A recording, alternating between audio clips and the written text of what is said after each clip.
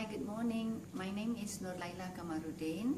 Uh, I am a rheumatoid arthritis patient with also having problem uh, with my slip disc. I've got slip disc five years back, and uh, I came to uh, to do my chiropractic here uh, uh, for the um, for for about four sessions.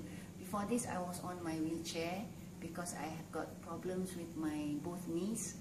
I couldn't walk, and uh, I had to use the I had to use the wheelchair. But after four session, four session with uh, Dr. Joey, uh, thank God I I'm uh, I'm good now. I can walk uh, without uh, the wheelchair and just the support of my cane.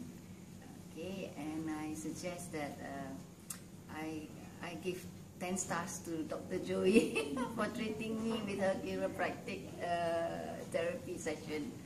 And I hope uh, anyone who wants to come over here, and I really suggest uh, it is a very good therapy. That's it.